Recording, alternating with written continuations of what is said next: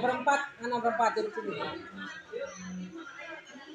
Nomor empat, nomor empat. Nomor empat siapa yang punya?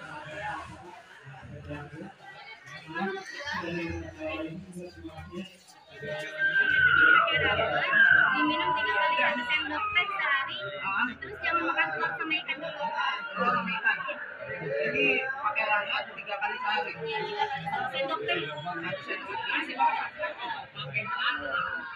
Nah, Siap.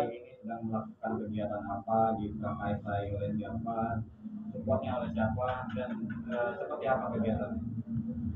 Baik, terima kasih untuk terutama untuk unit-unit yang ada di Desa Telajung Mudik sudah menya- me- mengadakan acara sosial yaitu sunat massal. Eh, banyak para pendukung dari beberapa elemen, Pak Kades terutama sangat mendukung untuk kegiatan ini.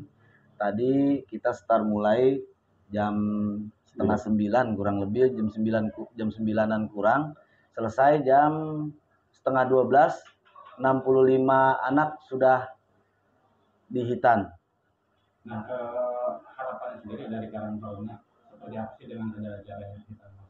Nah nanti untuk ke depannya bisa untuk menjadi program dari masing-masing unit terutama saya dari Karang Taruna Kecamatan memberikan kuota untuk masing-masing desa itu 50 kuota kalaupun nanti ada lebih bisa kita bicarakan nanti dari segi lain-lainnya Berarti eh, suatu masalah ini bisa menjadi program dari ke depan untuk karang-karang desa ya?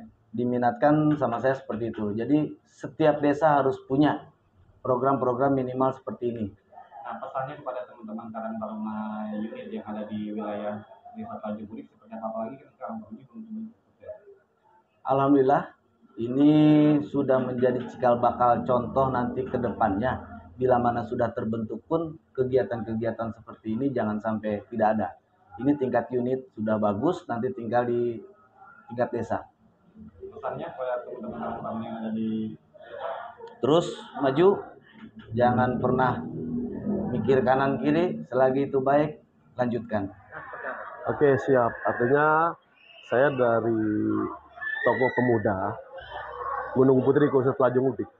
Artinya sangat-sangat mendukung sekali terutama sunatan massal. Artinya warga di sekitar Telajung Udik ini memang butuh butuh acara seperti ini karena memang kewajiban apalagi terutama untuk umat muslim ya artinya sunat itu wajib wajib karena memang di warga antusias untuk itu artinya pemuda melalui kepala desa Lajung Udik artinya mengadakan kegiatan ini saya sebagai pemuda di salah satu pemuda di Telajung Udik ini sangat-sangat mendukung secara pribadi seperti itu harapannya sendiri dari tokoh pemuda nih, eh, dengan adanya kegiatan ini yang dilakukan eh, oleh Karang Taruna yang disupport oleh eh, pemerintah kepala desa seperti apa?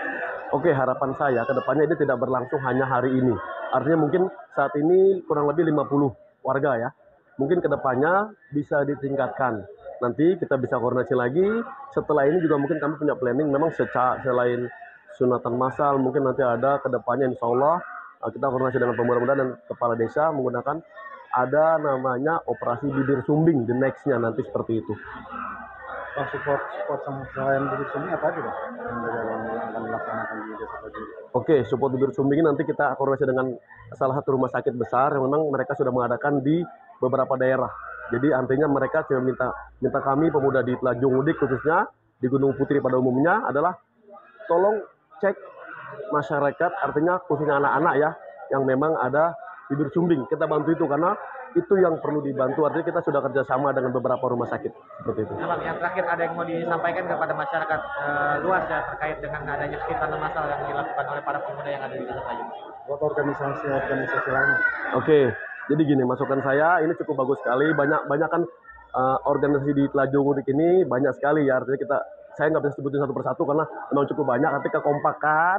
Artinya ini memang sangat langsung dirasakan oleh pihak masyarakat. Artinya uh, bisa dilihat ini kegiatan ini bapak ibu memang anak-anaknya juga karena memang kan saat ini saat ini ya ekonomi kita memang belum cukup baik. Artinya dengan diadakannya kegiatan ini sangat-sangat membantu masyarakat pada umumnya dan khususnya masyarakat Lajung Mudik.